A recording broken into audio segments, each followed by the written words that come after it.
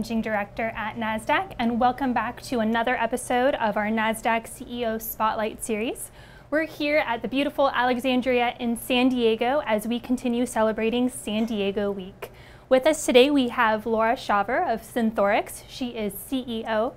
Synthorx recently listed on NASDAQ in December of 2018 under the ticker symbol Thor. Thanks for being here today. Great to be here, Yvonne. Thanks for the invitation. Absolutely. Well, since you're one of our newest NASDAQ listings in the San Diego area, I'd love to hear a little bit more about the origin of Synthorx and how it came to be. Of course, yes, we have a, a unique platform technology that allows us to tune biologics, and it came uh, from Floyd Romesberg's lab out of the Scripps Research Institute. And the company was founded in 2014, where um, he had spent much of his career seeing if he could identify new ways to tune biologics. And you probably know that therapeutics or human proteins and their use uh, as therapeutics has been around since the early 80s uh, when insulin, human insulin, was first cloned and made in bacteria, specifically in E. coli. And since then, um, we've used E. coli or bacteria to produce uh, human proteins as therapeutics. But unfortunately, we don't have all the necessary tools, or we didn't until Floyd's technology came around to change the properties of biologics. And sometimes that can be as simple as extending half-life for dosing convenience. Sometimes it can be changing binding properties, and that's the use of our platform technology. So in terms of how this can help patients, what can your technology offer that's different than what's already currently out in the market? Yeah, uh, that's a great question. And first, in order to answer that, I have to describe the technology a mm-hmm. little bit more. And I think uh, for your viewers, I think most people know what DNA is mm -hmm. and mm-hmm. that there's four letters of, of DNA, A, T, C, and G. And it is that genetic alphabet that codes uh, for proteins. So DNA makes RNA and RNA makes protein and uh, it is those, um, that, that, those four letters uh, that code for all the diversity in life and codes for all the protein that human cells make. Uh, and uh, unfortunately, it's limited, the four letters of DNA and the 20 amino acids that are found in proteins cannot give certain properties that we would like to have in protein therapeutics. Uh, proteins, human proteins that are utilized often have very short half-lives. They have properties that have dual functions and maybe we only want one and not the other. And what this technology does um, is what Floyd created in his about 14 years of his career is a new DNA-based pair. That's pretty amazing when you think about that, that A, T, C, and G have been around since the beginning of time as we know it, and now here we have uh, new letters of DNA, um, which are mm -hmm. called X and Y. And what's important about X and Y is it changes the diversity of proteins that we can use as therapeutics. So now all of a sudden, instead of four letters, we have six. Instead of 20 amino acids, we have many more. And we can very specifically encode in the gene of a polypeptide the placement of a novel amino acid.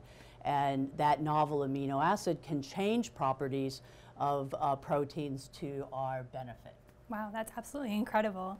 Um, could you tell us a little bit about one of your lead candidates right now? Yes, I can tell you about Thor 707, uh, which is our uh, uh, lead uh, program that we just filed an IND on, so a very exciting time for us, mm -hmm. moving into a clinical stage company uh, where we have changed the properties of uh, a protein called IL-2 or interleukin-2. Mm -hmm. Now, IL-2 has the properties, some of the properties of IL-2 have been known since the 80s when clinical trials uh, with IL-2 in certain types of cancer patients were first conducted. Mm -hmm. So this was in metastatic melanoma, metastatic renal cell uh, carcinoma, where back then, if you had a diagnosis like that, you were going to be dead within six months. Wow. This was very these are very aggressive diseases. Mm -hmm. uh, what, what, what we had at the time, chemotherapy just didn't work. And what was found uh, in clinical trials with IL-2, uh, the, the trade name of that is aldesleukin, is that some people had responses, meaning their tumors shrunk, mm. but more importantly, some people got cured. Now, that was amazing back in the 80s. This was before we had the checkpoint inhibitors. Uh, and uh, it was the first time that people with metastatic melanoma and renal cell cancer had hope. The problem is, is that it came with unbearable toxicity, sometimes fatal toxicity called vascular leak syndrome.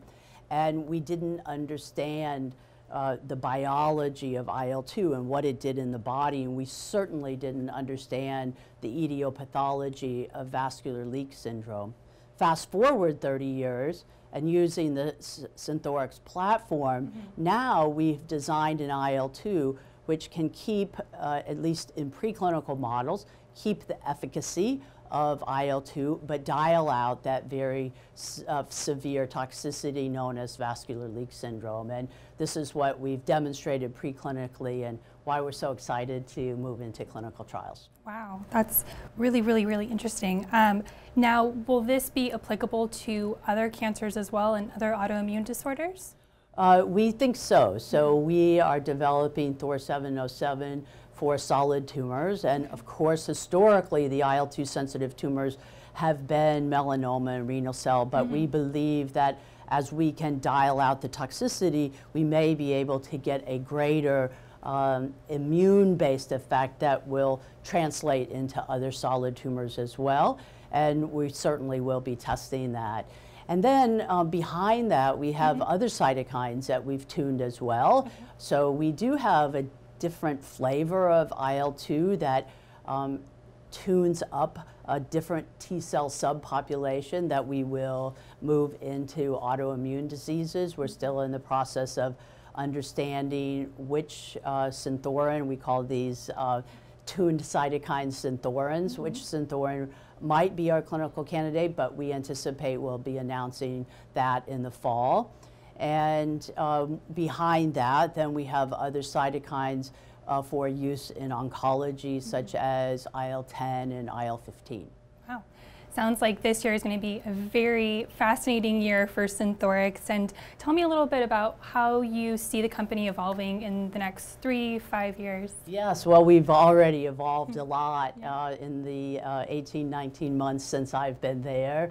Uh, uh, the company was about 14 people when I joined, and we're now 40 something. And we were very focused on how we could develop that strain, that E. coli strain, to produce the material that we needed, not just for clinical trials, but for commercialization as well. So we had some work to do to optimize the manufacturing process. Mm -hmm. uh, and uh, so we, we grew in that area of what's called CMC or chemistry, manufacturing, and controls. Mm -hmm. Of course, we've added in uh, a clinical group um, so that we can begin uh, clinical trials once our IND has uh, cleared the FDA. Uh, and we've demonstrated successfully the power of this platform technology because we actually can change the properties of IL-2, as I said, to keep that good tumor fighting uh, properties, but not have the, that severe toxicity. And uh, pretty exciting that we'll be moving that into the clinic and other things through preclinical development. Yeah, well, a great San Diego success story with Synthorx clearly lots more to come this year and in the future. Uh, thank you so much for being here and sharing just Thanks a little bit of uh, the company. There's lots more to learn clearly and Synthorins will soon be a household name hopefully. hopefully. we, we, look forward to it. So um, one of the things we wanted to bring uh, here to San Diego was a little piece of our MarketSite from New York. So here behind Laura, we've got a uh, miniature version of our tower and a little game if you're willing to play. Ready to go. Awesome.